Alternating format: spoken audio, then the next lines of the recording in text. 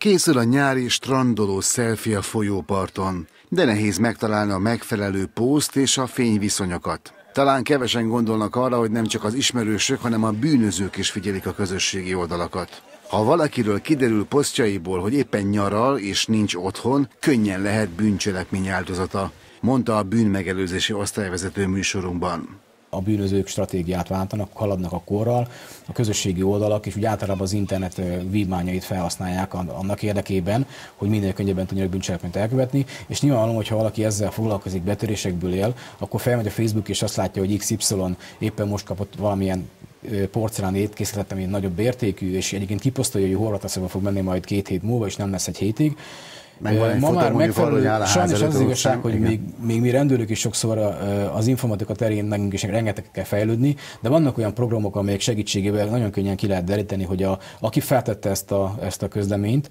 gyakorlatilag nevezhetjük ennek, posztolt, akkor hol lakik, pontosan be lehet lőni azt, hogy melyik lakásba, és nyilván nem közben bűncselekményt el lehet követni az ősérelmére.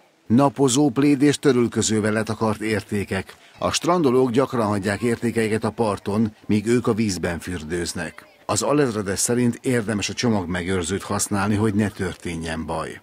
Ha lehetőség van, akkor mindenki a csomagmegőrzőt vagy értékmegőrzőt válassza, mert a, a pokrót szép ugye az sajnos nem működik, azt tudjuk jól. Ha többen mennek, és nem lehet megoldani azt, hogy biztonságos helyre el tárolják az értékeket, figyeljenek oda, hogy mit, esetleg, hogy valaki mindig maradjon a pokróc közegében, környezetében.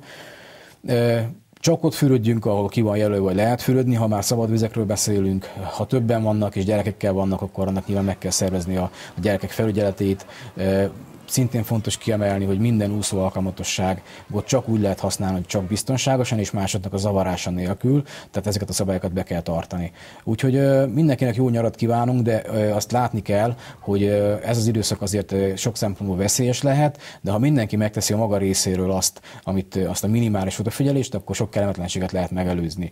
Ha pedig mégis valaki bűncselekménynek lesz az áldozata, akkor a 112-es segélyhívót hívják, vagy pedig, hogyha közelben van a rendőr, akkor nyugodtan nyugodtan lehet hozzáfordulni. Ne legyen senki szemérmes amiatt, hogy csak egy 5 vagy 10 ezer forintos akármit is tulajdonítok el, mert akik ezzel foglalkoznak, ők ebből élnek, tehát ők addig követik el ezeket a típusú bűncselekményeket, ugye sorozat jelleggel, ameddig a rendőrség el nem fogja őket.